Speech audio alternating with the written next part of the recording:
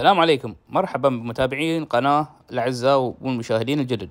إذا ما كنت مشترك في القناة اشترك في القناة وانضم لعائلة القناة وشاركنا بأفكارك في التعليقات.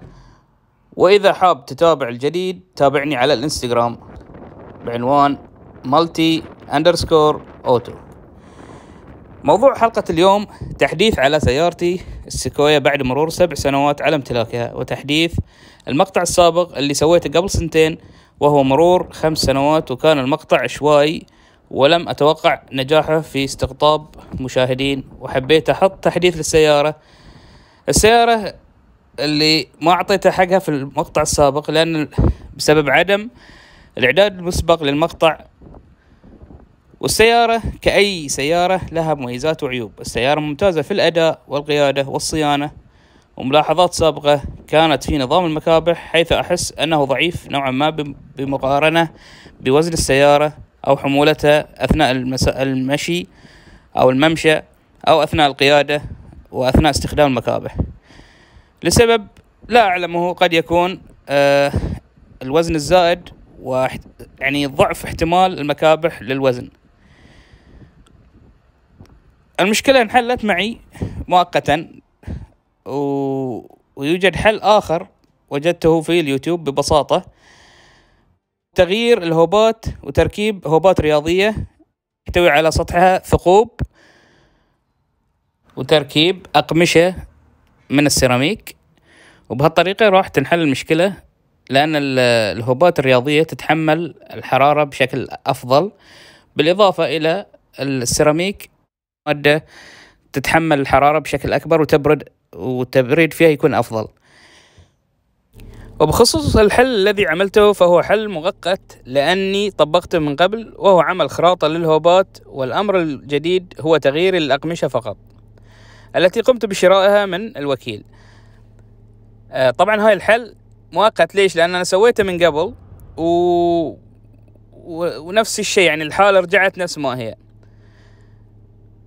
وحاليا أنا آه، عدت عدت آه، عمل ال- الحل هذه. ليش؟ لأني آه، لم أجد محل يبيع هوبات رياضية إلى حد الآن. فيا شباب أي واحد يعرف محل يبلغني في التعليقات وأكون شاكر له. ومن المعروف أيضا أن كل سيارة لها عمر افتراضي. ومداومة على الصيانة والعناية يعمل هالشيء على الحفاظ على السيارة لسنوات أكثر.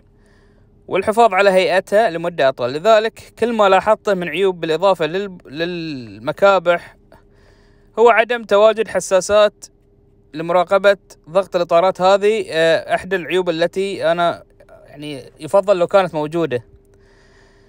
فمن المعروف أهمية حساس ضغط الإطارات وأسباب إضافته في وقتنا هذا. يوجد آه، عدة مواقع كموقع اي باي وأمازون وغيرها يبيعون حساسات مع شاشة صغيرة تباع كحل آه، بديل.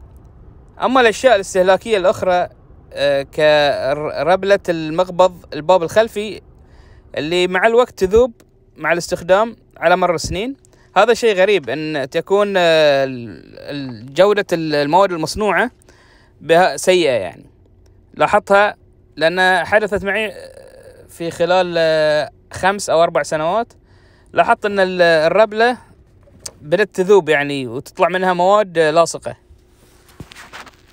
والربلة هذه المفروض تكون ذات جودة لأن مقبض الباب على مر السنين يستخدم بكثرة. والمفروض ال- المواد المستخدمة تكون ذات جودة بحيث أنها تدوم آه، بمدة أطول.